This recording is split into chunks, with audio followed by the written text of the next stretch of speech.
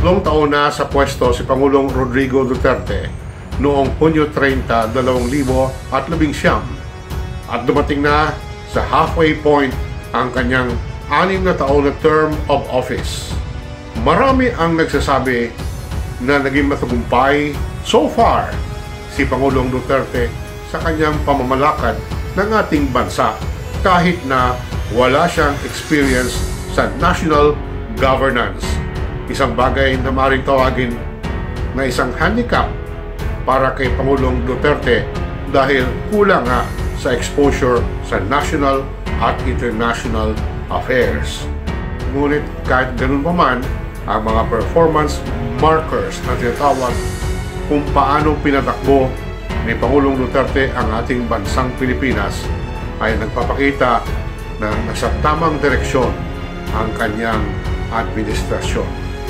Tatlong areas ang aking babanggitin kung saan naging matagumpay o naging maganda ang performance ni Pangulong Duterte.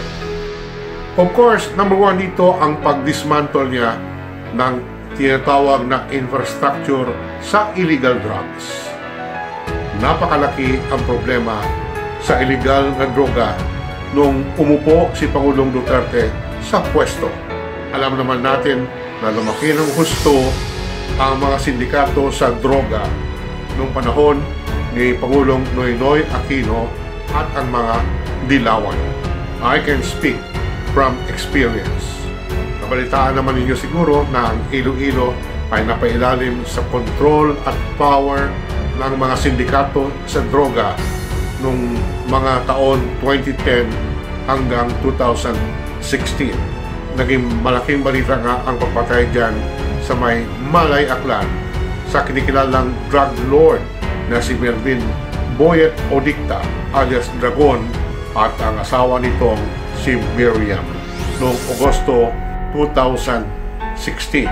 Pagkatapos noon, ang isa pang kinikilalang drug lord dito sa Iloilo, si Richard Prevendido, ay napatay din sa isang police operation ilang buwan pagkatapos na napatay si Boyet Odicta ang isang kilalaring drug personality na si Jingjing Espinosa ay nabilanggo na at ngayon nasa National Bilibid Prisons. Noong mga panahon na yun, aba, napakapoderoso ang mga drug lords. Lahat kami dito sa Iloilo takot kahit mga pulis dito under sa control ng mga sindikato. At nakakatakot, hindi mo alam kung sino ang kalaban at ang mga Ilonggo ay halos hindi mabanggit ang pangalan ni Udikta o ni Provendido sa takot na baka sila ay balikan at patayin. Subalit aminin natin, hindi sapat ang tatlong taon upang totally mawala ang problema sa illegal na droga. At hanggang ngayon, patuloy na may pumapasok pa rin na shabu dito sa Pilipinas dito sa Iloilo at iba pang mga lugar sa ating bansa. Pero nakikita natin na mga malalaking sindikato ay nawala na at ang natira na lang ay matatawag natin guerrilla operations ng mga drug pushers. Hindi may iwasan na may tinatawag na collateral damage. May mga inosenteng tao na namamatay pero dapat intindihin natin na gera ito. This is war. Sa ibang bansa nga eh, mas marami ang casualty. Sa Mexico, may mga judges, may mga chiefs of police na pinapatay ng mga sindikato. Sa Colombia, kung saan natin makikita ang pinakamalaking drug trade sa buong mundo, halos hindi makagalaw ang gobyerno sa ibang mga lugar dahil kontrolado ito ng mga sindikato sa droga.